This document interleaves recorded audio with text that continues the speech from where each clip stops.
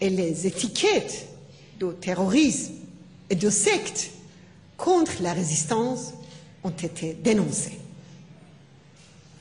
Huit tribunaux européens et américains ont prononcé leur jugement et rejeté ces accusations. Le peuple iranien a aussi montré avec son soulèvement qu'il n'y a aucun espoir de soi-disant modéré dans ce régime et qu'il faut un changement total. Pendant des années, nous avons dénoncé la nature inhumaine de ce régime. Aujourd'hui, tout le monde peut la voir. On voit que c'est un régime qui, malgré les appels, continue à commettre des crimes sous les yeux des peuples du monde.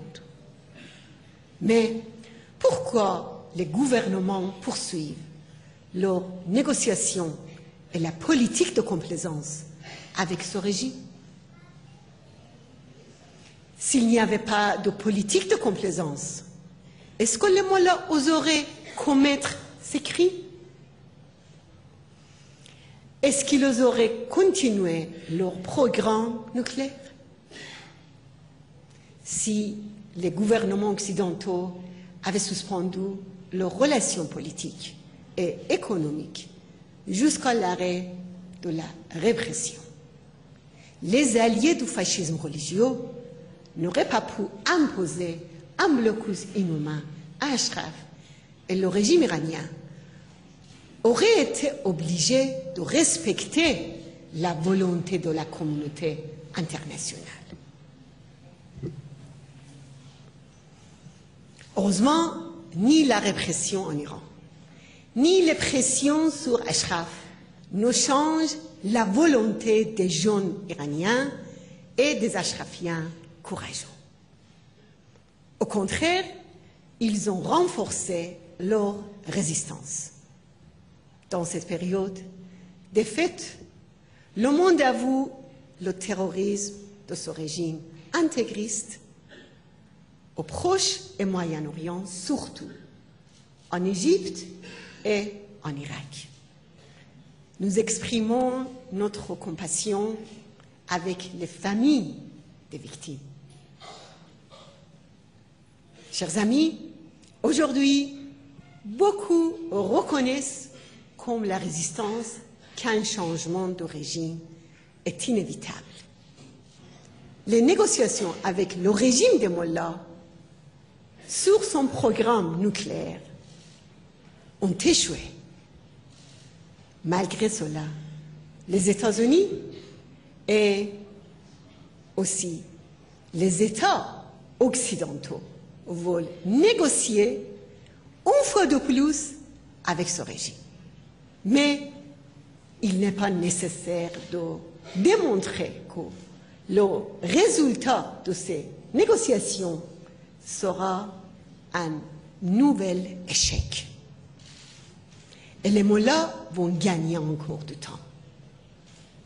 Face à la dictature fasciste religieuse, qui veut se doter de l'arme atomique, il existe une solution fondamentale, c'est-à-dire un changement démocratique par le peuple iranien et sa résistance organisée. C'est pourquoi il faut protéger les résidents d'Ashraf qui sont le bastion de la résistance au régime des Mollahs.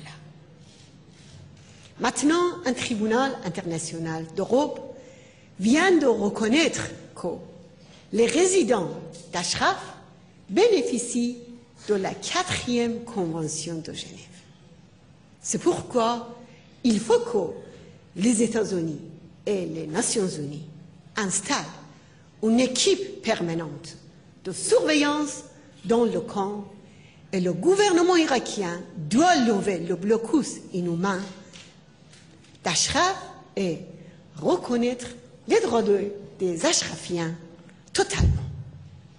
Chers amis, 2010 nous a démontré qu'un espoir pouvait rapidement se réaliser.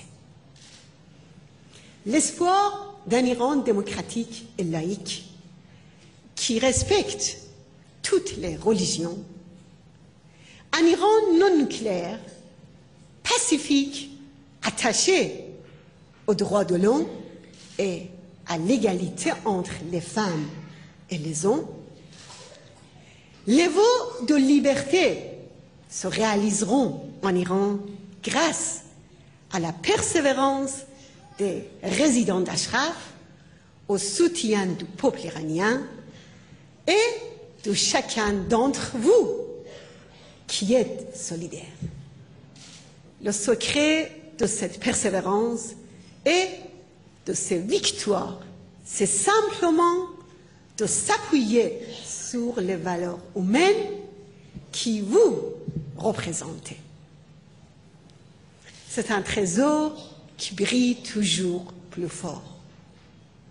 Une fois de plus, je vous souhaite une très bonne année et je voudrais vous dire toute ma gratitude, celle des résidents d'Ashraf et du peuple iranien. Je vous remercie et très bonne soirée à vous. Bonne année et meilleure.